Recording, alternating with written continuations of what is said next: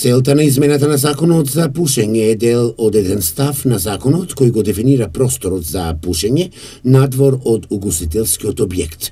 Новите измени се во насока да се чуат мислењата на сите, и на пушачите, и на непушачите, како и на лекарите, и на угостителите. Сепак пушењето е дел од секојдневието, а анкетираните со свое размислување и став. Мислам дека може да се направи посебни простори за пушачите, кој сака да си пуше, да си седи у тие простори, кој не ќе, да си биде на чисто.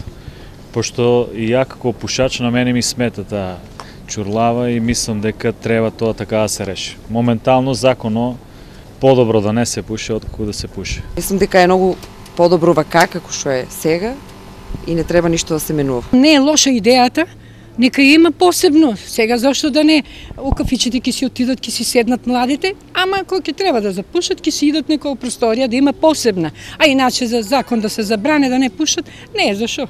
Секој си има свое право. Еве јас не ќе да пушам, ама не значи па другиот до мене да не сака. Вака да си има простор и нека си постои закон. Само на отворени места да се пуши. А во кафолињата да има ли просторија за Да, треба да има во кафолињата простор. Просторија да се пуше там. Отделни простори. Само може надвор на, на отворено, иначе на вакви јавни места не треба. Мислам дека треба да има посебен дел за пушачи и за непушачи. Значи секој да си има да си има свое катче.